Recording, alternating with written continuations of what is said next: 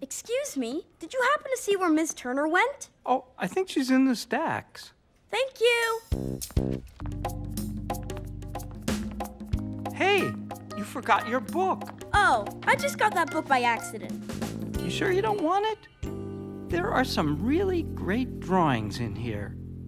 Okay, why not? Thanks.